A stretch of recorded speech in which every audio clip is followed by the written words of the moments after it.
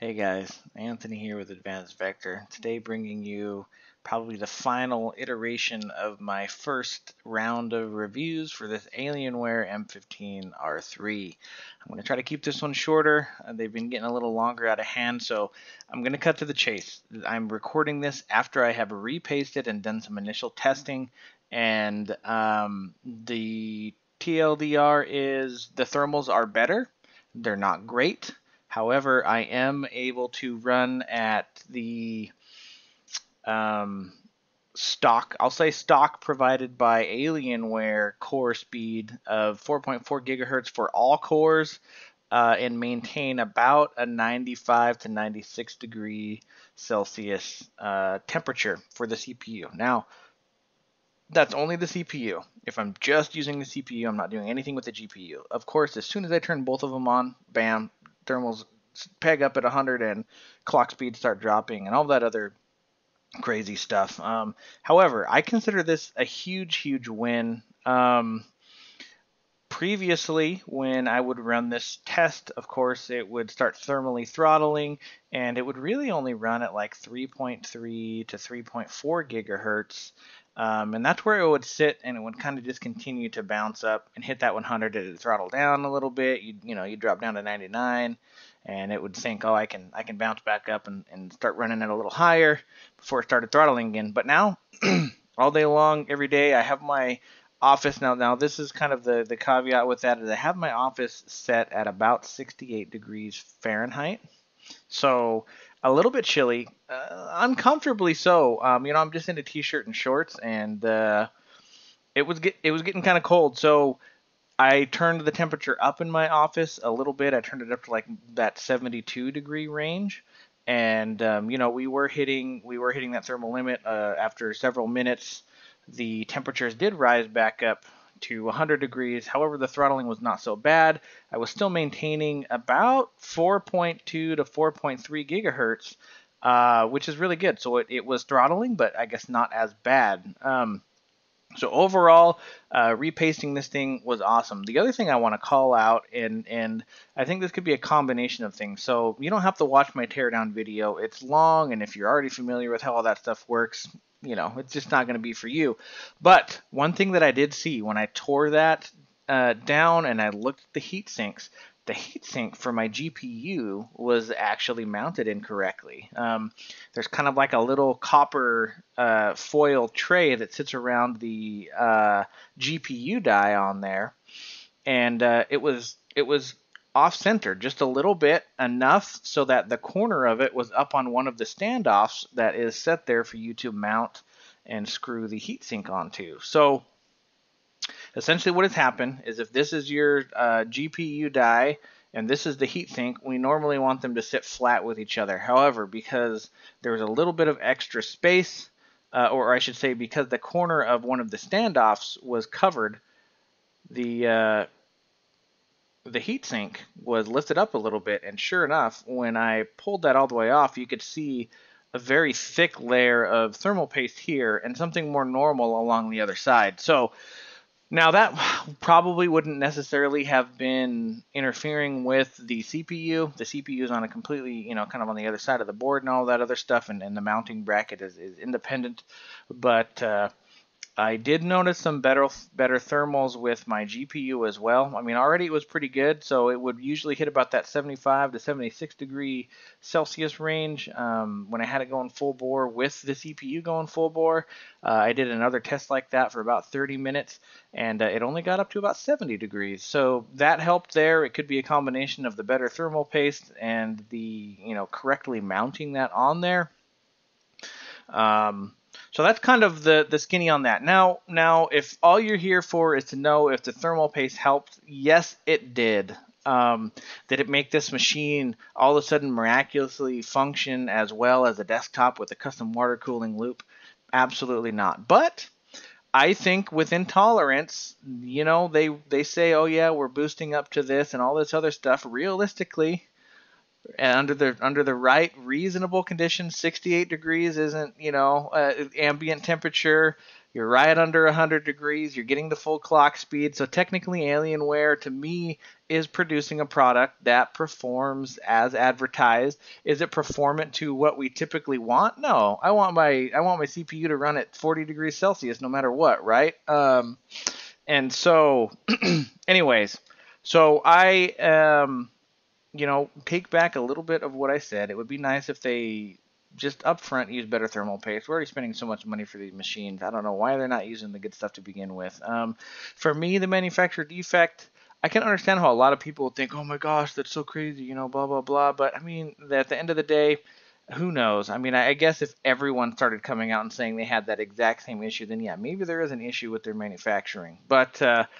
it's a one off thing, man. Uh, you know, it's, never going to be perfect. And, and, if if that was it for me, then that's fine. You know, um, I, am not going to leave Alienware over it or anything like that, or say that their machines are trash because there was, uh, you know, a slight mishap and literally that little tray was canted, uh, you know, a centimeter. Um, that's just that's just not the kind of person I am. So. Uh, however, it, it, did impact me, so that's kind of another thing where if you're having some problems, uh, take it apart. You got to look at your machine, figure out how it works, uh, and and you know you'll be able to identify those issues. If you're not capable of that, then take it to any computer shop in your town, and they should be more than capable of handling this teardown. Um, it actually wasn't that bad. I've definitely, uh, you know, usually it's nice when you can just pull the heat sinks and stuff off without having to take everything apart. But from all intents and purposes, I have completely torn down Alienwares in the past and put them all back together, replacing screens and all different kinds of stuff. And uh, this is pretty par for the course for what I would expect of tearing down a machine like this all the way and putting it back together. Um, even on the even on the easier end of that. So, all right. So the last thing I wanted to talk about here a little bit is what I have learned from all of this. So I have done a lot more research into processors and overclocking, and I've spent some time actually now um, in a utility uh, that one of you all pro provided called the Intel Extreme Tuning Utility, and that has kind of opened my eyes and helped me direct my Google searches more toward this. You know, in the past, I've always I, I have done some, I would say amateur overclocking at best, um, and and that really is just Alienware Command Center, moving the little slider around, playing with stuff to see how I can get without really understanding what's going on in the back end. And now, do I really understand fully what's going on, you know, under the hood still? No, but I think at, at the very least, to have a few more dials that I can click, and it's starting to get a, a better picture. So. Um, before we jump into that, though, what I want to talk about is really um, is this a bad product? Uh, no, I think that Alienware, um, now that I've kind of corrected my thermal issue through through paste and uh, that mounting problem, I think that they have produced a product that lives up to everything that they described it as. Um, should you buy it? I think that question now is up to you. Are you willing to have a machine that you know runs hot when you're trying to do stuff with it or not? Um, if not, then really a compact gaming PC or a compact gaming laptop probably isn't for you. If you just have to have a PC that runs your um, you know your CPU and GPU going full bore at 60 degrees Celsius, then um, you know you're going to be carrying something that's that thick. That's just it's just physics. Um, so uh, other than that, though, really what Alienware is delivering is that this to me is actually a, a, a pretty decent product product, and I am going to keep it. And this is this is why. So we're going to jump over here. Um, and hopefully that switched. Yep, it looks like it did. We're going to jump over here, and this is the Intel produced product um, report for this processor. Here we have the i9 10980 HK processor. And the one thing that I want to pull out here is everyone, you know, you want your thing, oh, I want it to run at this speed, this speed, this speed, this speed. And realistically, guys, this thing is designed to run at 2.4 gigahertz. In fact, the i7's base clock speed is 2.6 gigahertz. Now, you only get six cores, but its base clock speed is faster, but its max turbo speed is slower. So let's talk a little bit about this max turbo frequency. And what that is, is, oh, I need to peak for just a second, you know, do something uh, you know, a few seconds, and then it's going to peak down. This is not advertised as a speed that you're going to sit there and just chug away at numbers all day long. That number is the 2.4 gigahertz. So anything that you're able to achieve above 2.4 gigahertz is like, hey, you're getting extra. Um, the other thing that I want to call out here is the TDP of this is 45 watts, configurable up to 65. So when I had this thing chugging and I had um, my this Intel Extreme Tuning chart up here, we can look and see even under idle loads right now that um, TDP is sitting at like 34 watts. So you know that's that's kind of just idle. If we put it under light load, that'll go up a little bit. Now if I and it says it's configurable up to 65. So anything past 65 is really, you know, you're really starting to push stuff. So um, if I start my Furmark CPU burner here, and we go back to this, it's going to take a second for my fans to ramp up. Actually, I'll just ramp those back up to full speed, and I apologize if you guys get a bunch of that feedback here. Um, we'll go to we'll go to full speed just for sanity's sake. Um, and in fact, what I'm going to do is I'm going to reset this just so that it has time to kind of drop that temperature down and then slowly build up so I can kind of make my point. And all right, so I, I just, you know, and I'm going to kind of reset here. I'm not sure how all of that, that worked out um, with recording and running that stress test because I'm doing this all on the Alienware. So um, what I want to say, guys, if that last little part kind of cut out, I apologize, but really wanted what I wanted to prove here is that when we have this thing peaked, um, and we can see, you know, our temperature did spike up there. I had to turn my, my loud fan profile on, all that other stuff.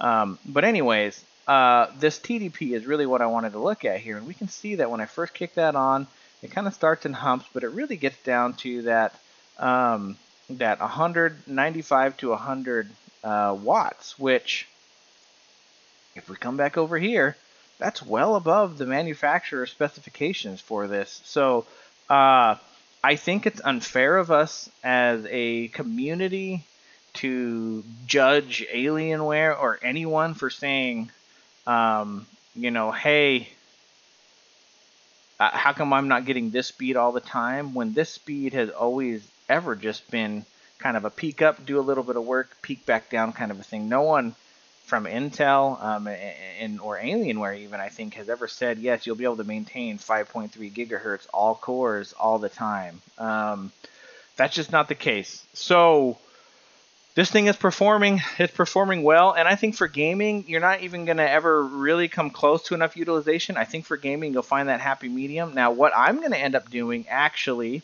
is is I think that what Alienware has done for these default clocks is actually a little aggressive. I really do. I think it's a little bit aggressive. Um, you know, they probably do that so they can get the fancy numbers and everyone kind of fluffs their numbers. You know, we all know in the vacuum of space, technically, this cell phone can, you know, talk to people that are 10,000 miles away. Um, but we don't live in the vacuum of space. And, and that's really what I want to bring down and how you can maybe make this machine perform better for you. So, uh, if you haven't already, this Intel Extreme Tuning utility is awesome. Um, and actually, before we move on, there's one thing that I do want to say. These temperatures, the only way I was able to get them was by undervolting a bit. And by a bit, I mean a lot.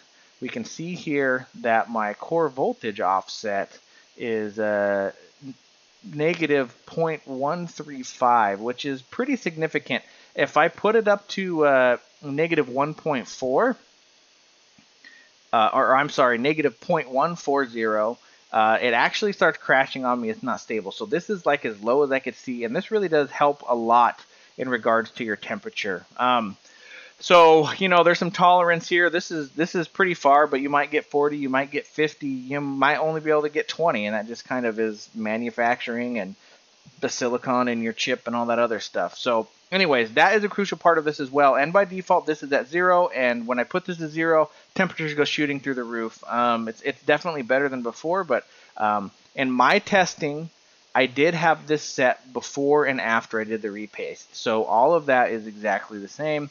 And uh, that's when I was still noticing instead of being pegged at uh, 100 degrees Celsius and my um, core frequency only reaching up to like 3.3 or whatever, um, 3.4. Now, um, you know, I'm I before I was still able to get 100 degrees Celsius, but it was running at like 4.2, 4.3. So uh, definitely getting some more usage out of that. Anyways, guys, so there's this. Read about it if you don't know. I personally don't know enough about any of this stuff yet to like really give you solid advice, other than to say take this from zero, slowly eke it down until your machine starts, you know, freaking out a little bit, and then back it off and bring it back into a more reasonable space.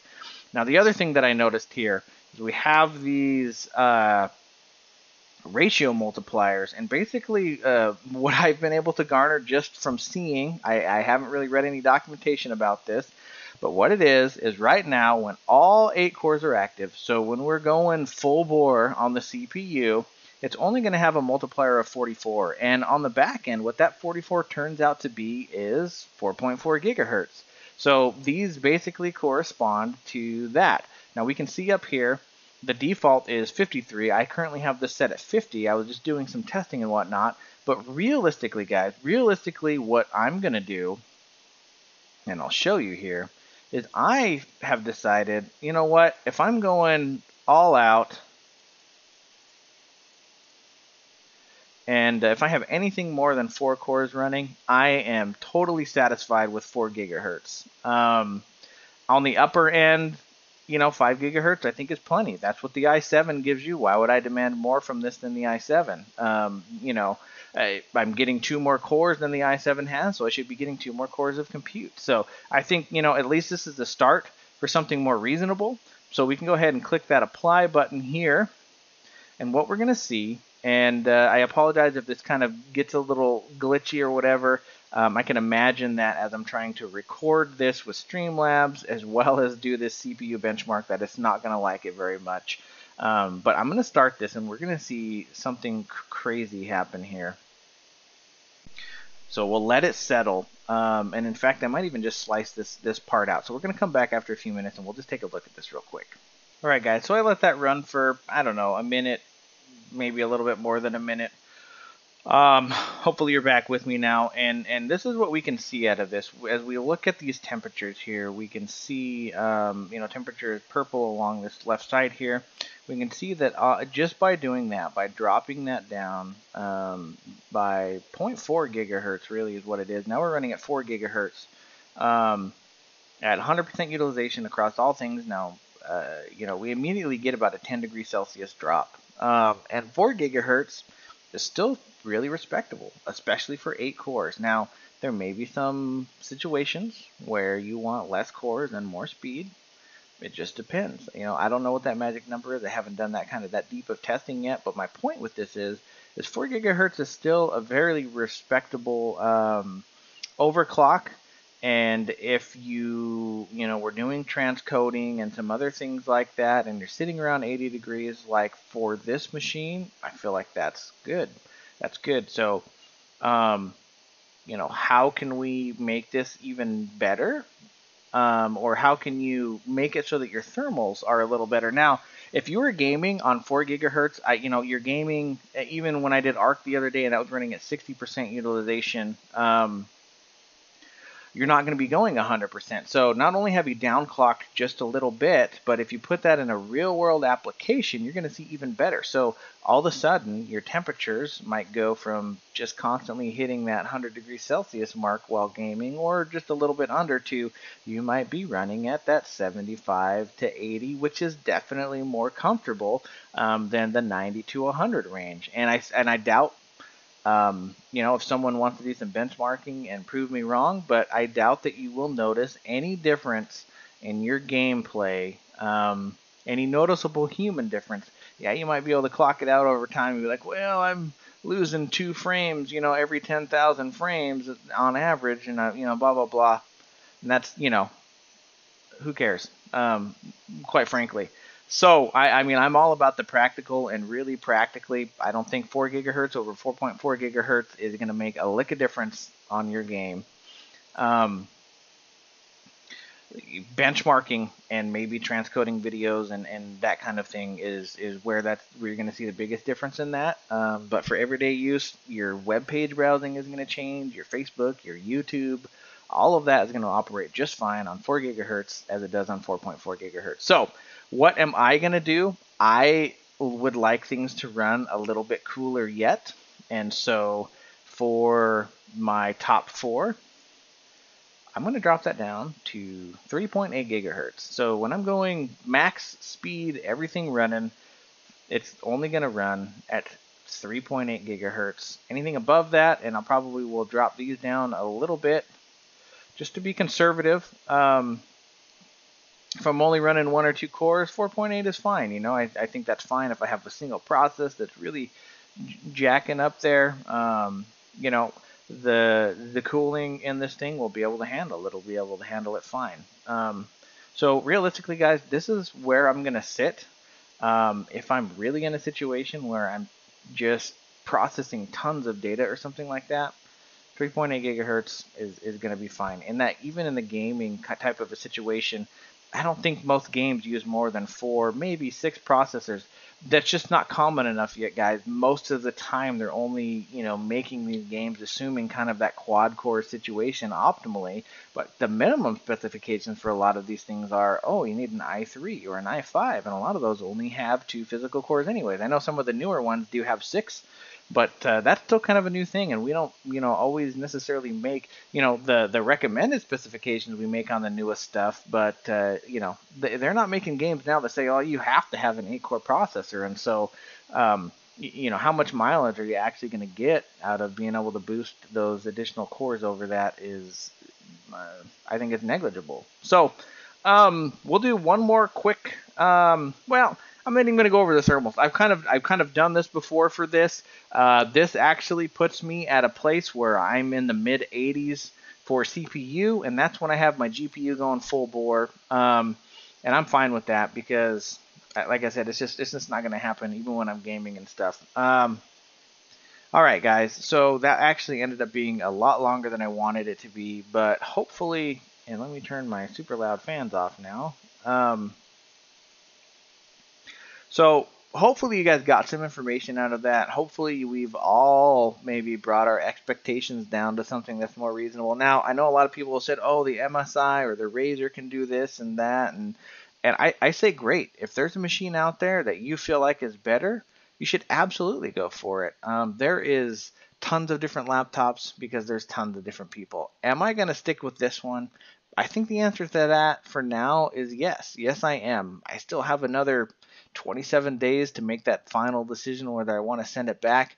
I certainly want to wait and see what happens after I get that uh, 2080 Max Q because the GPU is another factor in the heat and all this. And, you know, we haven't had any heat issues with the GPU specifically, but the additional heat that it creates definitely affects the CPU um, heat. And so this 2070 actually has a max TDP of 114 watts, and uh, I think the 2080 Max Q only has 90. Now, you know, so it only has 90 watts, and so some people are like, oh, that's not good, that's not whatever. But theoretically, and you're paying a ton more for it. Don't get me wrong, guys, you are paying a lot more for it. But what it does, it gets your heat down a little bit more. I think you do get a minuscule amount of performance gain over the 2070. Um, but really, really, it's it's it's that heat, it's the efficiency. You are paying for more efficiency. You're saying, hey, I have something that's slightly the better, or maybe just the same um, but uh, 90 compared to 114, but it's you know whatever 20% more efficient heat wise um, or electrically, I should say. So you got to pay for that. Um, is the 2070 right for you? Maybe. Um, maybe if you get it with the i7, you'll be just fine. Um, I think with the i9, I'm going to try the 2080. Um, after tweaking and doing all the same stuff, I am expecting to see a better thermal output than I am even now. Hey guys, I'm kind of recording this out of uh, reference, if you will. I'm actually I have the video up in Premiere Pro, and I just realized that I didn't answer the standard question, so I'm recording this real quick so I can throw it in. Anyways, um, the the real question here is, am I going to stick with the i9 or am I going to go for the i7? And um, personally, I'm going to stick with the i9. As you have seen in this video, I think I'll put this little segment toward the end. As you have seen in this video, I have been able to bring the temperatures under control. Now, that being said, I have specific applications in mind where I feel like more cores, a higher thread count, is going to be more beneficial to me than a higher clock speed. What I mean when I say that is I'm talking about video transcoding um, when you're doing gaming and Twitch and trying to stream, as well as video transcoding and that kind of stuff and editing and whatnot when I'm in Premiere Pro and I'm editing these videos together, like the one that you're watching. And um, having more cores, I think, is going to be more beneficial than having that higher clock speed because you're spreading all that work out across all the different cores instead of just asking a few cores to work super fast. So that's what it is for me. Um, I think if you don't want to dink around with it, and you just want to get a good gaming machine, then get the i7. It's I think it's going to be fine, especially if you are willing to look at it and do even some of the tweaks that I've done for the i9. So I just wanted a short little kind of blip to get that information in there for you guys. We'll get back to the normal video now. So, um, anyways, guys, I, I, really I think that's going to wrap it up. Um, I, you know, I know that I've been getting a ton more questions, um, but I've been trying to answer those like in line in the comments. I know that doesn't really broadcast them out to everyone. Uh, maybe next weekend I'll circle back and do one final video. I'll kind of compile all the questions that you guys have over the week and uh, do another video there. I'm really hoping that over the course of this week I get that Dell technician out here that will swap my motherboard out so I get the 2080 and I can kind of do another round of um, brief testing.